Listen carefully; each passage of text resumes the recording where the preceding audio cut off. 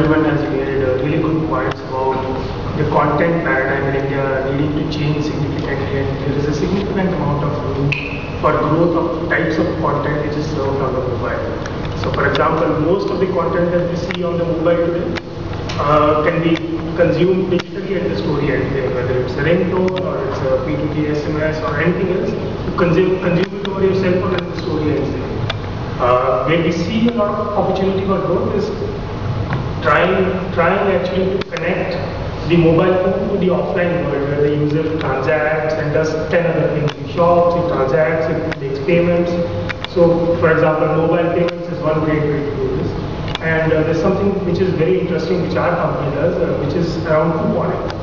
Wherein couponing is an extremely popular uh, phenomenon in the West, especially with the advent of iPhones and Android phones in the West. People have started using coupons over the which is which is still at a very nascent stage in India. But if you think about it, all of us regularly dine out, shop for apparel and things like that. But till now, mobile has not been serving its due, due in terms of giving us content relevant to that, in terms of fulfilling our needs to you know, get, get great discounts at great places. So this is what our, something that our company does. You know, we, we work with over 25,000 merchants across 30 cities to uh, sort of fulfill different kinds of couponing programs. So they are on, online, offline, and also we do we do a bunch of stuff around mobile couponing, for example. And mobile couponing uh, as a as a service can be implemented in various fashions. For example, Vodafone does a great job. They run a service called Vodafone Tuesdays, which we manage, which is a very good example of mobile couponing helping them engage the user better. So can buy one get one on Tuesdays for restaurants and movie tickets, etc. Because of which the youth feels really engaged with the brand. Similarly, mobile couponing can be loaded on top of multiple types of application, location-based systems coming in. We're working with a lot of companies to load on mobile couponing platform on top of location-based services. So that, let's say I'm in I'm near Connaught Place I open the map and the, the telco knows my uh, location.